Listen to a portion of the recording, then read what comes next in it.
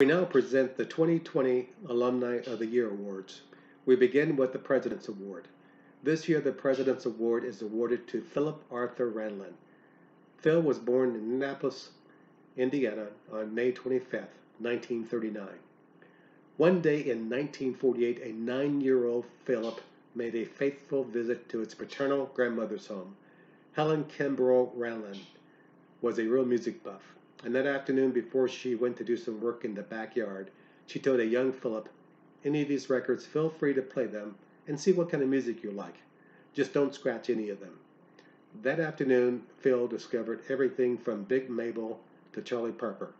Later on, as a student at IPS school number 37, Phil went to the music department and got in line to get an instrument of choice.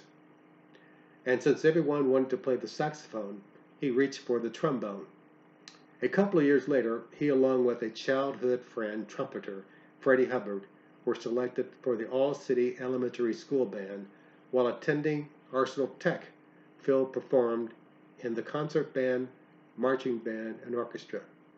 After graduating from Tech, Phil later studied and played with some of the most highly respected jazz and classical educators in the business, including Dr. Donald Byrd, Professor Nathan Davis, and Professor David N. Baker. Other well-known artists Phil has performed with includes Ella Fitzgerald, Sarah Vaughan, Rahsaan Roland Kirk, Wes Montgomery, Freddie Hubbard, and the list goes on and on. Ranelin, a fourth generation Indianapolis native, is loved and respected around the globe as a master trombonist. Phil has performed at many jazz festivals around the world, including the Montreux Jazz Festival, the Cool Jazz Festival, Atlanta Jazz Festival, the Veracruz Mutual International Festival, and the spectacular 1999 inaugural Indy Jazz Fest that featured, among others, George Benson, Herbie Hancock, Sonny Rollins, and James Moody. B.B. King, Branford Marsalis, and Isaac Hayes, Wayne Shorter, and Chaka Khan. Phil has received many awards and recognition over the years, highlighting a few. Mayor William H. Hudnut III and the Black History Committee recognized Phil's participation in the City of Indianapolis' first annual Wes Montgomery Memorial Concert in 1978. He received the United States Congress Award for community service and excellence as an artist.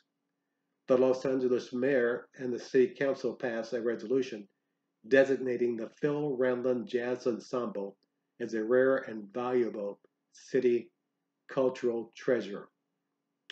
Along with the proclamation from the city of Los Angeles, it was declared that May 25th be Phil Ranelin's Day in honor of his leadership and jazz appreciation and the education of the underserved youth in our community. As a band leader, Phil has recorded several albums and performed on countless others. Phil can look back and take great pride in the knowledge that he fulfilled his grandma's dream. He was recently inducted in the Indianapolis Jazz Hall of Fame on, alongside of Naptown's greatest, he continues performing across the United States and in other countries around the globe. Let's welcome Philip Arthur Ranelin as our President's Award recipient for 2020. Congratulations, Philip.